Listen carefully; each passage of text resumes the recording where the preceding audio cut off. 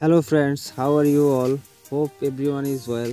Two months ago, I made a video about DLS24 release date and said that DLS24 game will be updated by 10th of November, but that is not true. Today is 15th yet, there is no update of DLS24. I am sorry that the idea was not correct.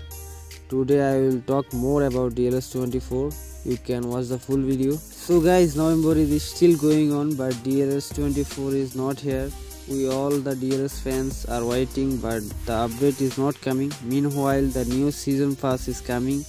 So it seems that the update will not coming in the next 7 days. For now we can assume that the DLS 24 game will be released between 25th of November to 5th of December. Hopefully this update will arrive within that period because we have already seen some games of DLS series released in late November or early December so we can keep this hope and there is a video about what can be in DLS 24 game. We know DLS game developer FTG they add a new feature to the game every year. This update like scenario mode was added last year.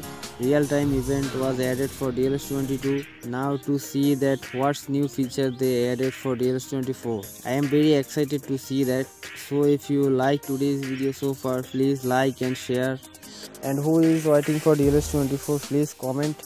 And who like me goes to play store every day to check DLS 24 is coming or not. You guys is the real DLS fan